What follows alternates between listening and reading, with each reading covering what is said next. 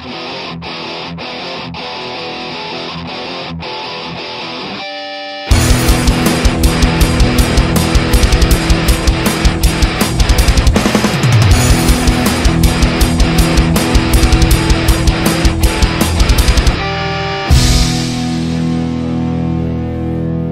y'all, it's Heel Heat time. Hi, everybody, and welcome to Heel Heat. My name is George Coles, and this is an episode of George Versus. Now, it's been a little while since I've done one of these, so I'm going to refresh you on what the concept is. Basically, I take a topic that I'm on the other side of the angle on and give you my point of view. This time, we're going to talk about Jim Cornette and his view of the wrestling. Now, we've all heard Jim. He's an absolute legend in the business. He's one of the great managers of all time.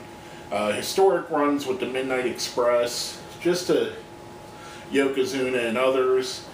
Just a, a fantastic wrestler, one of the smartest guys in the history of pro wrestling. This is all not in doubt and also makes a very interesting podcast, makes very interesting interviews. He's a guy that's interesting. However, I'm going to show you and point out some things where Jim is a hypocrite. Jim's point of views potentially are wrong. And Jim is just saying things to say stay relevant, in my opinion. First off, let's talk about some of the things that Jim Jim has rallied against. Guys like Colt Cabana, Joey Ryan, Pro Wrestling Gorilla as a whole, um, Kenny Omega's matches against a blow up doll and against a little girl. And let's let's break this down. So basically, Jim thinks that there's, you know, pro wrestling should be taken as a serious sport. Well, Jim, where were these views back in the 90s when you brought a man to the ring that was a, wrestling centaur, I guess? I don't know what you would call it. He was half man, half bull in Mantaur. Do you remember that one, Jim? You were his manager. You walked to the ring where, while he had a bull head or boar head or whatever the hell that was supposed to be over top of him. He was half man, half beast. That's how they played it, Jim. Do you remember that? Do you not remember yourself being involved? How is that less silly than Jim, than let's say Joey Ryan's U pornplex? Or the grenade spot that you, you talked about with Chuck Taylor? Or anything that Cabana has done? if that's just a one-off, you say that might be the counter argument. Okay, that he didn't, he was just getting doing what he was paid for. Fair enough. I understand. We've all done stuff that when paid by our employers wasn't necessarily what we wanted to do. Let's go to Smoky Mountain Wrestling now, where you're the booker, Jim.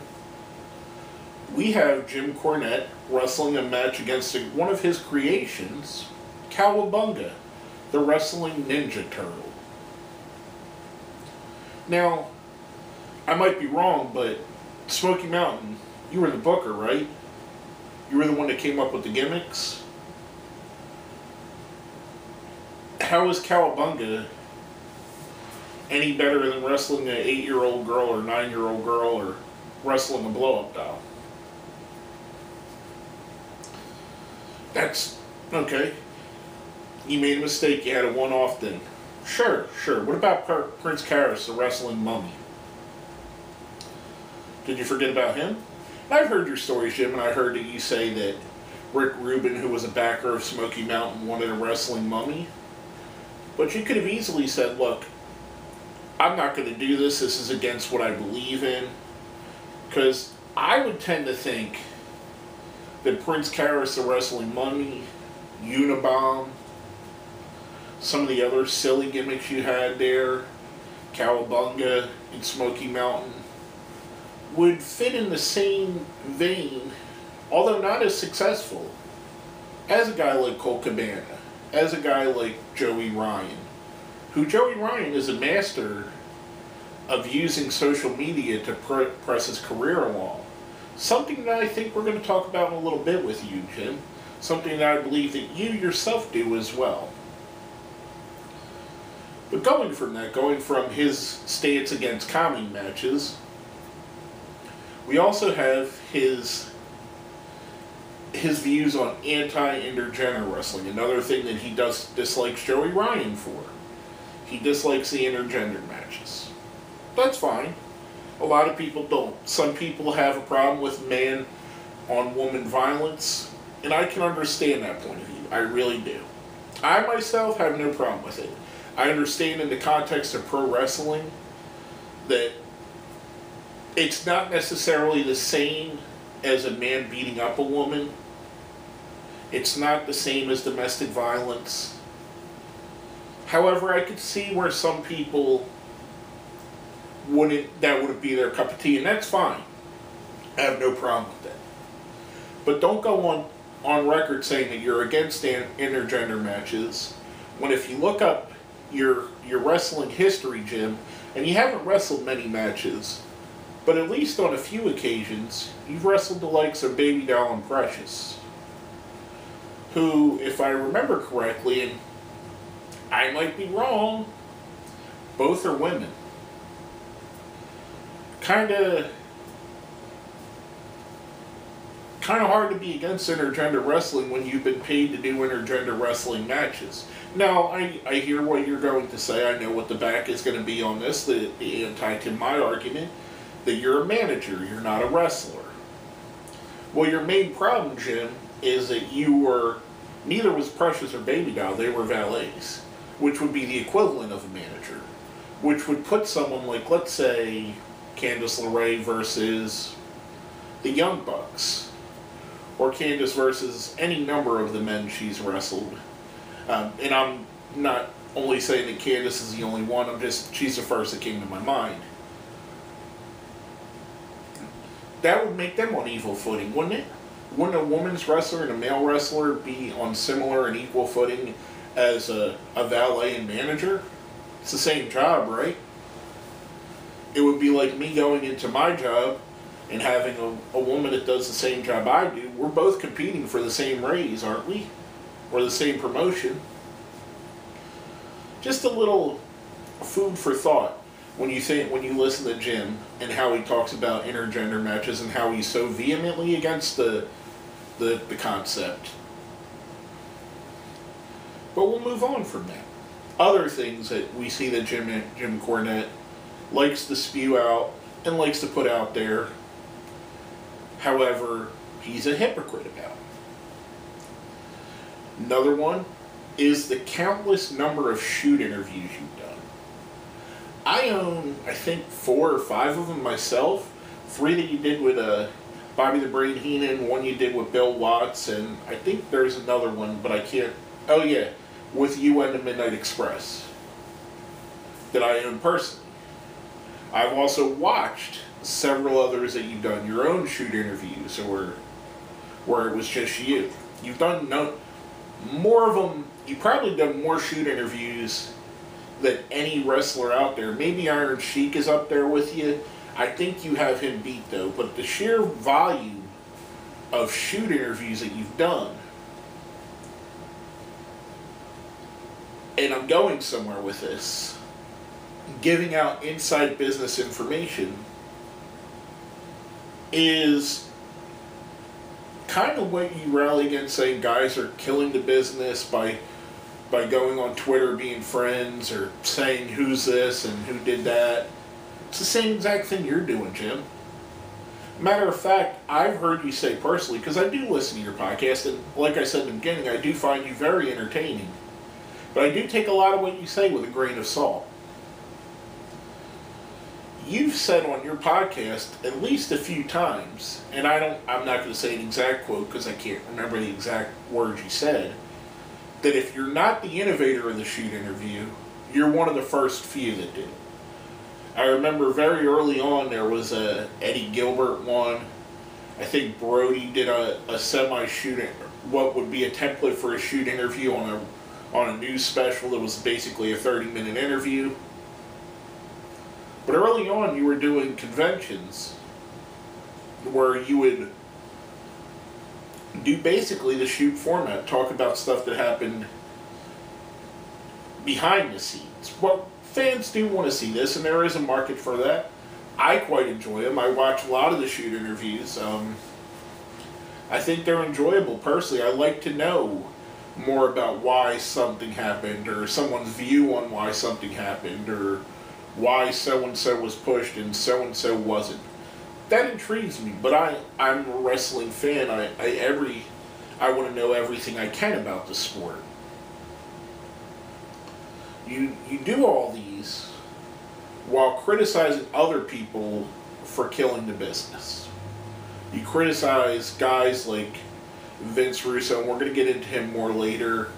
Guys like Vince McMahon. You criticize Vince McMahon for letting the cat out of the bag on kayfabe, but you do the same thing. You criticize Russo for all his silly booking ideas, and trust me, this isn't a defense of Russo here. Uh, but how is anything he did killing the wrestling business more than telling the inside workings of it? And part of that, part of stuff that you've done, you've released what people's paydays were. You've went back and said so and so got this. Even in your Midnight Express scrapbook, you talk about paydays. You sold on your website at one point checks that you gave out to wrestlers and I'm, I'm not sure if they're still there. They may be. Go check his website. I haven't. I didn't check to see before I did this, but at one point he was selling these. Do you know how I know? I bought one for one of my friends. I bought a check that you gave out to uh, to Robert. I, believe it was one of the Midnight or one of the Rock and Roll Express. It might have been Ricky or Rob, but I don't remember who. It was a few years back. but I have a really good friend that's a huge Rock and Roll Express fan. So, as a birthday gift, I thought, wow, this is cool. It's got Jim Cornette's signature on it. I believe it was Robert. It got Robert Gibson's signature on No, it was Ricky. It was Ricky Morton. It got Ricky Morton's signature on it. It says Richard Morton. That's why I remember because Robert Gibson's real name is something different, which I'm not going to say here, but you would. Um, and it said Richard Morton. I thought it was cool. It had both their signatures on it. I took it and I took a picture of the Midnight Express and made a cool little frame around it. Gave it to my friend as a gift. She thoroughly enjoyed it. She loved it. That's and again, you're welcome to my friend Laura, who I gave it to. If you're watching this, you know I'm talking about you. But anyway, I digress. You're releasing what guys were paid. I don't know that they necessarily want that out there especially some of the guys that may have skirted the IRS. Just saying. I think that's a little bit, that's giving away some of the stuff that you say that Vince did. Vince killing kayfabe or killing the territories. What is that? What is that? Is breaking kayfabe as well. And the last thing I want to talk about is your never-ending feud with Vince Russo. I don't believe it. Not anymore. I do believe at some point you may have been mad at Vince Russo. I do believe at some point there may have been an issue between you and Vince Russo. But that, we're going on 20 years plus now, Jim. unless he did something egregious to you personally, I don't see anybody really holding grudges, grudges that long. And I know there's been back and forth between you two. You're both adults, so. I think that you, and this is just a personal belief, I think that you and Vince go back and forth to keep you both relevant. If you say something bad about Russo, of course it gets on all the wrestling dirt sheets that people look up the Jim Cornette podcast. People look up and see when Jim's going to be in town. People look up the Russo podcast, look to see what he's doing. I think at this point the feud is more mutually beneficial to you than an actual anger.